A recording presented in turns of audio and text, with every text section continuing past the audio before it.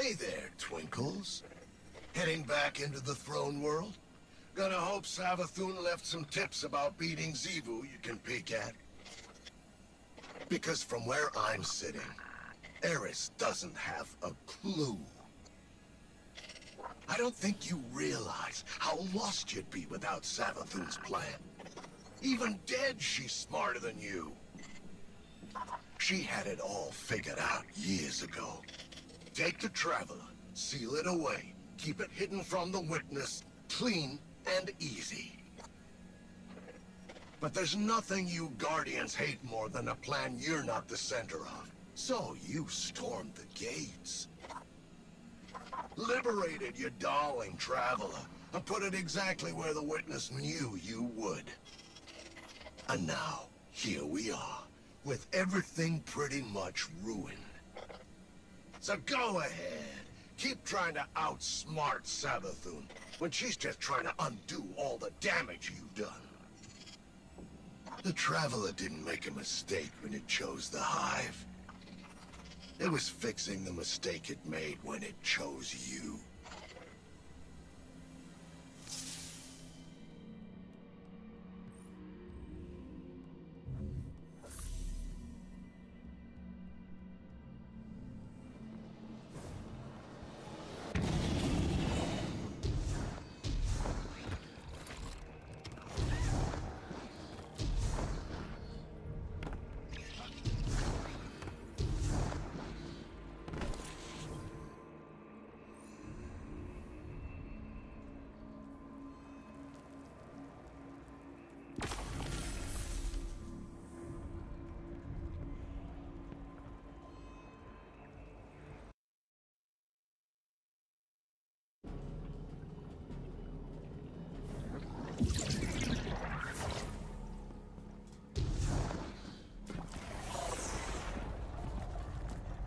Welcome back, Sloane.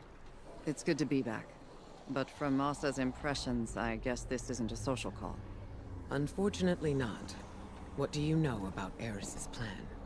Only that she and Ahsa are bound by some kind of hive ritual.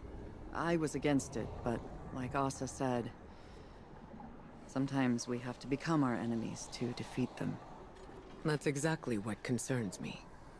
Sloane, I need to speak with her. No. Ahsa's done enough for the Vanguard. She's barely recovered from... I will speak. Bound by a covenant. Tithes held between... A current... You're helping Eris contain the energy from the tithes. Eroding. Hollowing. Release in time. Or remain bound. Without end.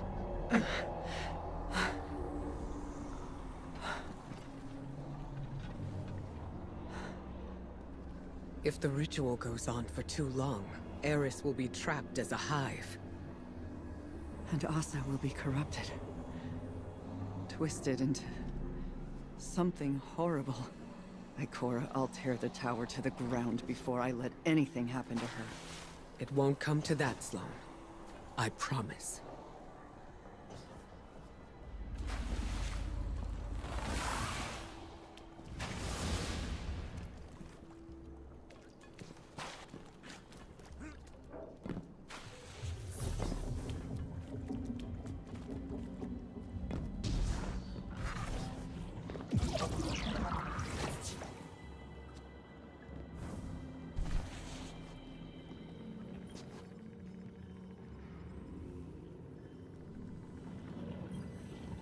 Saladin Forge.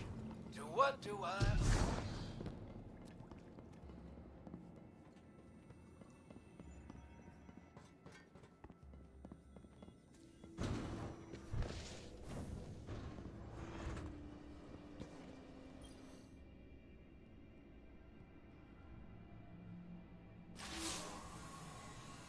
Guardian, I have been taking time to reflect on Ikora's conversation with Sloane and Ahsa.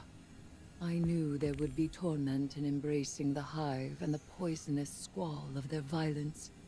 I thought myself prepared for it. I have lived long in shadow, and the shrieking horrors of the Hive would provide solace from my quotidian dreams. When I named the worms, I evoked only their resonance, but Ahsa responded. She is a willing and vital catalyst to empower my morph, but her pain is real and immense.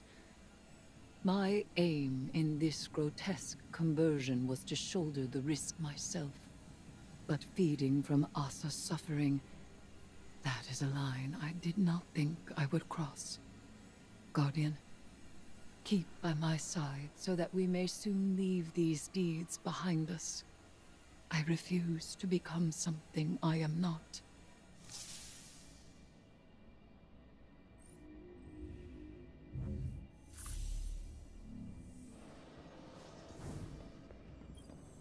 The worm gods extract their sustenance from between what is and what might be, between the actual and the possible.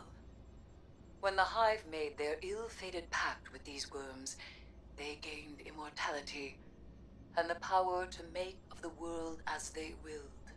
Few beings in this universe derive their power this way. The Queen of the Reef believes it is the same method as the Ahamkara. The Wish Dragons were too dangerous to exist. So is Xivu Arath. My connection to Ahsa is regrettable. But this was the only path towards my goal. I invoked the worms, and she answered. And did you know that this would happen? It was possible. As all things are possible with this kind of power. This bond has not been attempted since the worm gods made their bargain with Witness. Ahsa may have rejected it then, but the desire to overpower the universe with one's will is woven into her being. She is not beholden to it, not addicted or enslaved. The deep is not her nature. But I have tangled myself within this desire through the use of the staff's larva. Now I possess her power. This could kill both of you. That risk is ours to take.